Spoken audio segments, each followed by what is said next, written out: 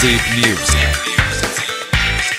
zipnews.it Le notizie nel modo più veloce.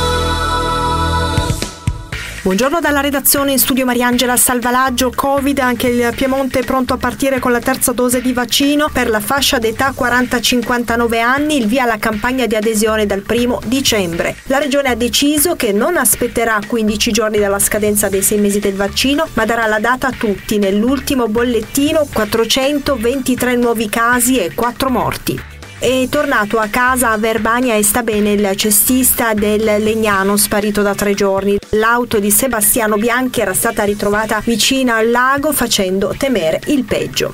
Indagine congiunta della Guardia di Finanza di Cremona e di Novara che scopre una maxi truffa sul reddito di cittadinanza. 9.000 i denunciati, una banda di romeni ha truffato per 20 milioni di euro, 16 le misure cautelari. Aeroporti apre a Torino base Ryanair, investiti 200 milioni di dollari, 19 le nuove rotte dall'estate new entry per Agadir, Billund e Zara. Sentiamo il presidente della regione Alberto Cirio. Ci vuole tempo ad acquisire la fiducia da parte di una realtà così importante e quindi vuol dire che dietro l'apertura di questa base c'è davvero tanto lavoro, tanto impegno, ci sono investimenti economici significativi che l'aeroporto ha fatto, rischiando, come è giusto che sia nel suo ruolo imprenditoriale e che noi come istituzioni oggi abbiamo il dovere di accompagnare, in un concetto un po' inaudiano, però giusto.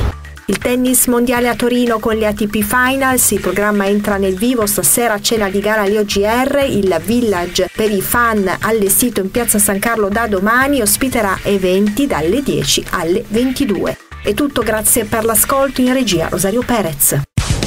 Zip News.